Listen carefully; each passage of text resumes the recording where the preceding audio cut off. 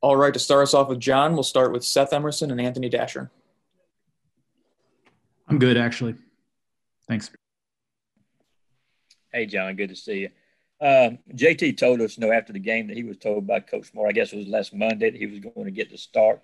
When uh, you as a teammate heard that, did that did that excite you? Was there a different buzz that was kind of going through? What was that like for you guys? I was excited to play with JT. Um, to be honest with you, I didn't I didn't know of that conversation or any conversation, but since we rotate everyone, uh, everyone gets so many reps during the week. We were ready for whoever Coach Smart called upon um, because we work so hard in practice with each and every quarterback. So we are excited to have JT, and he played. He did a great job. Thanks. Next, we'll go to Chip Towers and then Marc Weiszer. Yeah, John. Obviously, it, it was real hard to see the ball sailing downfield uh, on Saturday. I, I, just wonder, you know, how that uh, changes sort of your mindset as a tight end. Uh, do you feel like with JT at the controls now, really just uh, just everybody has to expect to be more of a receiver? And obviously, we've heard y'all talk about explosivity. Uh, what was that like to kind of see that uh, come to fruition? It was super exciting to see, you know, those big expl- explosive plays. Um, but I wouldn't say any quarterback. It was quarterback dependent. I mean, it was. I think it was more of putting everything together um, the first six games or whatever, five games, you know, we were coming along. We hadn't put it fully together, but I think uh, against Mississippi State, we did put it together. We hit our deep shots. Um, and that's exciting because it's going to open up more opportunities in the run game, more play action stuff. So it's exciting all around. John, I know South Carolina is very different from uh, the team you saw last year with, with, some of their coaching changes and personnel changes, and, and Georgia's different too. But I, I wonder, uh, uh do you guys find motivation from from you know obviously the big upset loss last year? Is that something that, that you even need uh, in terms of motivation, or you know how does that sit like a year later? Uh, it's definitely motivation. You know, we we came into that game last year. We we didn't play like we wanted to. Um, we laid an egg and we didn't we didn't uh, do what we wanted to, and we're just going to come out this year, focus on us, uh, work hard this week of practice, um, and execute, play more physical, finish our blocks and stuff like that. Next, we'll go to Mike Griffith and then Austin Roper. Uh, yeah, John, you were saying you guys last year didn't do what you wanted to do. Uh, what, what, was it last year you didn't do um, that that's going to be different this year in your mind? I know you said you're going to you play harder and focus. Were you guys not focused last year? I wouldn't say that. I just said I, I just think we didn't connect on our plays like we wanted to, and I just think we're going to use this week to focus on ourselves, um, focus on tying up those loose ends in every facet of the game, run game, pass game, special teams, and we're going to go execute.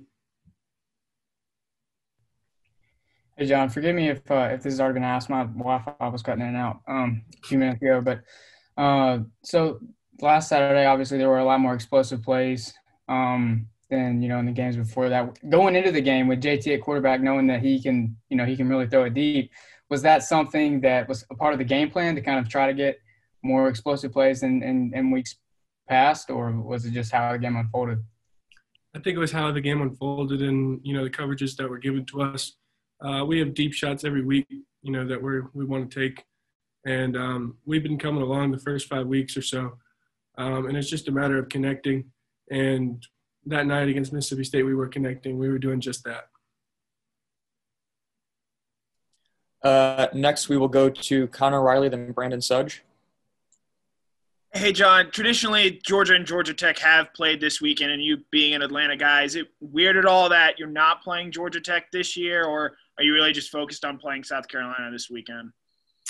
You know, uh, it's weird. I mean, it's one of our biggest rivals, but obviously, and most importantly, um, the next game, which is South South Carolina, is the most important.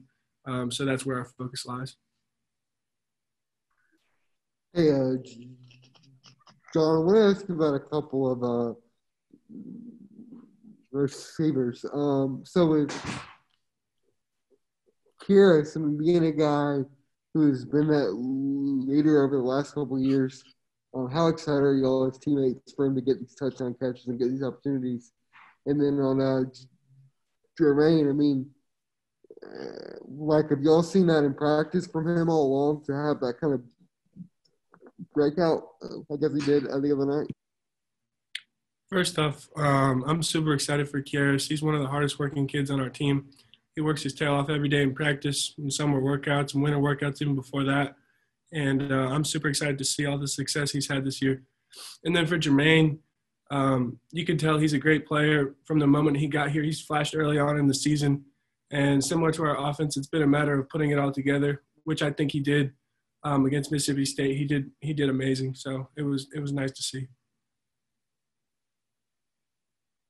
Uh, next, we'll go to Paul Newberry and then Palmer Thombs.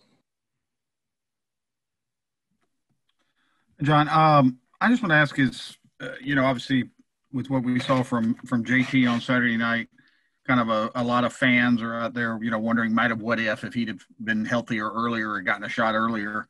Do y'all, uh, do you sort of after that game look back and go, wow, what what, what could this season have been if he'd have been available or we'd have put him in there a little bit sooner? No, I don't look at the season like that at all. Um, Coach Smart, Coach Monken are going to put us in the position to win, and um, you know they're our co- they're our coaches for a reason. So whatever they say goes, and um, we fully support them 100%. And we're going to do what we can as tight ends. Receivers are going to do what they can as receivers, L line and so forth, to go out and win ball games. John, you said earlier in this conference that you said that the focus this week is going to be on y'all. How much is y'all a focus for the rest of the season, especially given the fact that y'all are out of, you know, likely out of SEC championship contention and, and playing for not a playoff position?